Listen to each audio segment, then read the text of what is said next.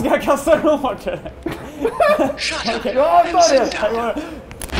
Varmt välkomna till Grönvall och Wikström. Programmet där vi träffar en entreprenör och demonerar en produkt i super slow motion.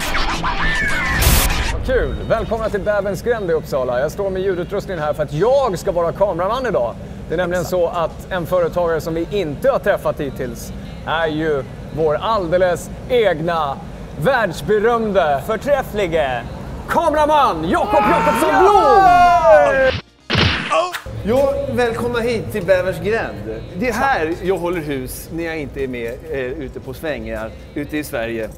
Då sitter jag här nere och så har jag en liten musikstudio. Häng med och kolla! Välkomna ner! Ja men tack! Det är lite läskigt här ibland. Det är en, eh, en dunkel liten källare och det här är ett replokalskomplex där massa band spelar och så vidare. Och det var det, så jag kom hit. Eh, och sen så eh, efter att ha liksom repat med eh, mitt band i olika konstellationer så, eh, så fick jag en idé om att starta en studio här. Och det har eh, jag hoppat runt i lite olika rum här. Och till slut så har jag fått lyxsviten alltså. eh, eh, så, Får vi se hur det ser ut. eh, Okej, exakt. så här ser det ut. Eh, Så det är också även lite, Wow. även lite mörkt här då. Men, eh, Men kör du på någon form av så här retro-stil på, ja, på inredningen här eller? Eh, ja, För jag menar de här det- grejerna som står här, de använder man ju inte... Nej, det där är någon gammal diskmaskin som morsan hade när hon växte upp. Jag är lite för eh, det gamla goa stuket. Alltså. Jag håller på mycket med såna här knasiga rullbandare och eh, jag är generellt gammal, gammal fint skrot. Ja, exakt. Men eh, Jake, är det här allting i studion eller? Nej, Nej. här sitter jag inne Ja. och eh, med mina ljuva eh, artister då. Här Eh. mixar och donar, eh, rattar på prylarna. Trycker på rekord helt enkelt. Okej. Jobbet de, eh, de är här för att göra, det gör de här inne. Det är väl Oj! Här var det kalla- skitfint ju. det så kallade inspelningsrummet. Här har vi en till bandare. Ja, titta. Mm. Du har ju drivit företag ett tag. Vad Ja. är det bästa med att driva eget företag?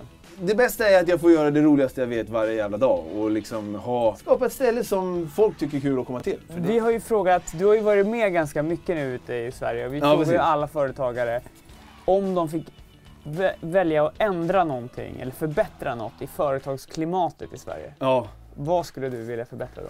Så nu för tiden så handlar ju folk mycket produkter från, eh, Ja, importerar olika saker och, och eh, som liksom skeppas över halva jordklotet och så vidare. Och det känns fortfarande som det är billigare och enklare kanske till och med eh, att köpa de produkterna där istället för att ty, sk- alltså, köpa dem från, i, i sin närhet, i sitt Ja, lokalsamhälle. Och varför är det så då, tänker du? Ja, men det är väl för att det, det finns mycket krav och regler och eh, liksom, eh, skatter och sånt som vi producenter här behöver leva upp till och så blir det väldigt svårt att konkurrera ut de andra. Ja, men det är Eh, sant. Och, och jag vet inte hur man skulle eh, kunna lösa det problemet. Det känns som att antingen så behöver man ju typ stänga ute de andra eller så behöver man förenkla det ganska ordentligt. eh, Ja, just det, men- för- Det kan ju vara, ja, och det, den ena vägen det är ju den protektionistiska vägen, men det Mm. låter ju lite grann som att du, är- det är ett inlindat svar på att om man skulle göra det enklare i Sverige att driva företag så skulle det också bli billigare. Och då skulle produkterna i slutändan bli billigare så att folk kan handla mer lokalt. ja, precis. Jag, Jag har en fråga. Ja, jag vet ju det, vi har ju känt varandra länge. Men Ja. trodde du någonsin att du skulle bli egenföretagare? Nej, men eh, nej, precis. Det känns, har alltid fan känts som ett ganska svåruppnåeligt mål. Även fast det väldigt många gånger har kommit, eller liksom vandrat igenom ens tankar, eller vad man ska säga, även i ung ålder. För att jag valde ju liksom tidigt eh, att försöka eh, gå och hålla på med film. Liksom. Det var mitt första intresse. Sen så tyckte man alltid var kul med rock'n'roll och så vidare och därför hamnade jag här. Men i alla fall.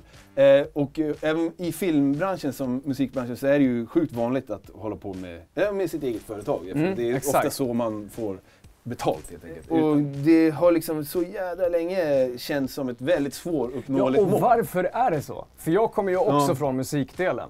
Mm. Och jag tänkte ju inte heller att jag behövde vara egenföretagare för att kunna leva på musik. Eller det var ingen som liksom, jag fick inte lära mig det av någon heller. Eller vi Nej, pratade precis, inte om det ja. ens inom utbildningen. Det Hur finns en säga? bild av, tror jag, det finns en bild av vad företagare är och hur företagare är. Ja, precis. Som, Ja, som inte stämmer överens med den bild man har av sig själv som estet. Ja, och här har vi ju två levande bevis då på att Ja. på företagare i skinnjackor som pysslar med musik och har såna här coola Ja, skor jag på sig. Så kan man se ut och vara, ha företag och eh, göra det man tycker är roligt på dagarna och tjäna så. pengar på det.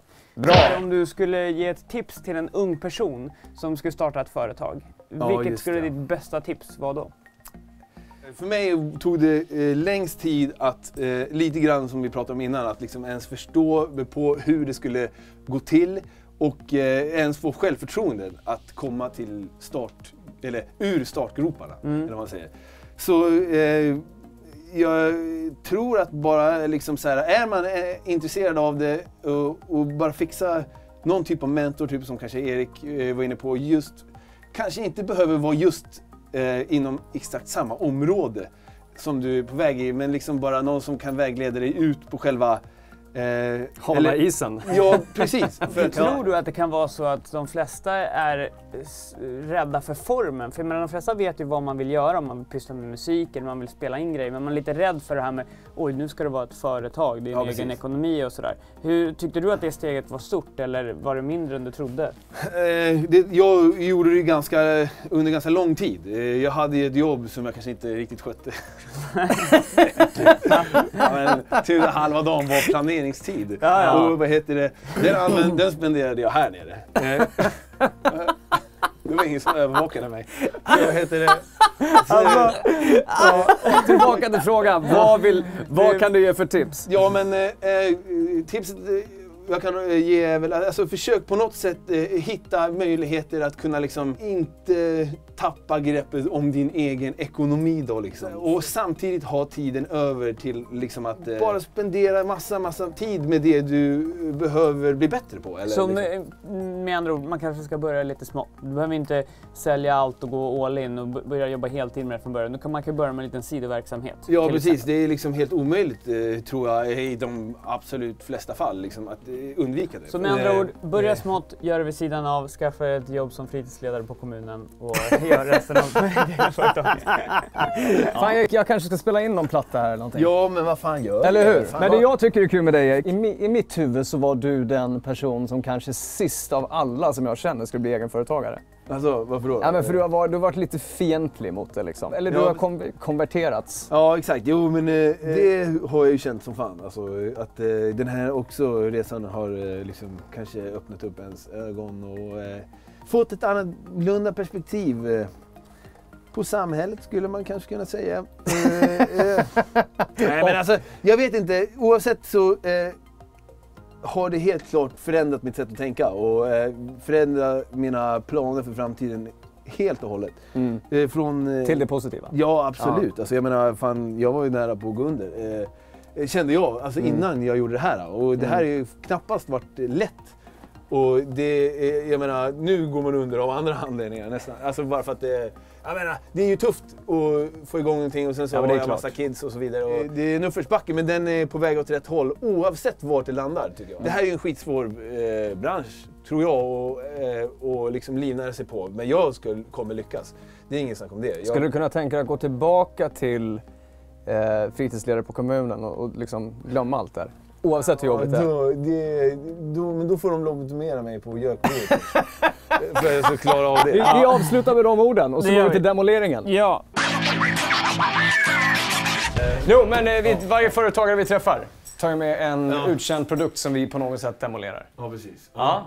Ja, Och du är ju inget undantag. Nej, såklart. Eh, nej men fan, jag har ett kylskåp här. Eh, där, Oj! Det, det, det är ju replokalsställe här, det, vad heter, alla ställer in sitt skit här inne och sen så är det klart att det alltid blir någonting kvar.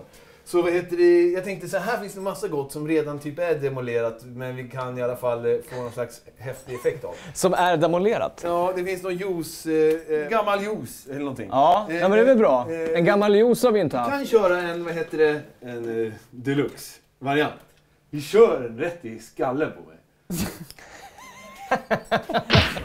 menar du att det ska kastas i... Rätt i facet! Okej, jag tror att jag vill... Ja, precis. Jag ska Ja, det ser jättebra ut. Nu står det där. Bra, ställ Jag där. tar eh, pavan. Ja, jag tar den, jag tar den. Jag tar den. Ska jag öppna den eller? Det känns som det. Jag ska åka iväg på finmiddag. Jaha. Nej, ja. jag ska vara, nej, det är sant. Om det går sönder då är det bra. Okej. Och, och det sprutar Jag öppnar lite grann då. Ja, okej då. Eller? Ja, ja, ja, ja, ja. Gör det. Eller vad vill du? Ja, men Kör bara. bestäm du. Ja, okej, ja, då kommer jag öppna den lite grann. Okej då. För då kommer det bli, då kommer det skvätta lite. Det är Ja, men det är sant. Vi Ja. kör. Är du med då? Okej, Men ska jag kasta, ska jag kasta den hårt eller? Okej, Ja, ta det. här går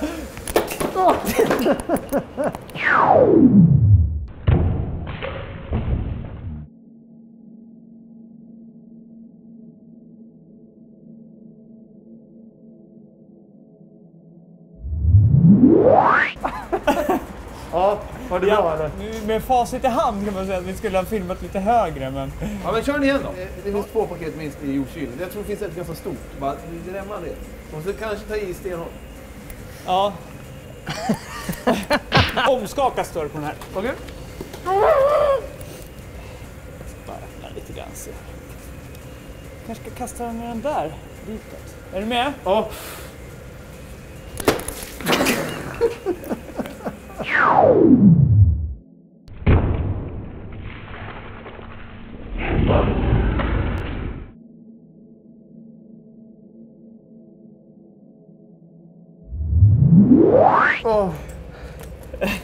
Ja, det där var bara perfekt. det kändes, det kändes rätt bra. Ja, du gjorde det fan så att det är skitbra alltså. Ja, Ja. vad säger ni då? Var det, det här var inte så jävla dum idé.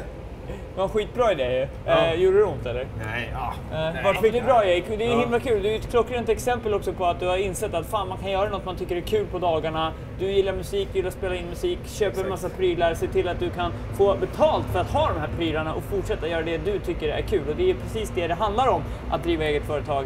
Och eh, med det tycker jag vi avslutar det här avsnittet. Eller vad säger du? Det gör vi. Skål på er. Vi ses. Tjing.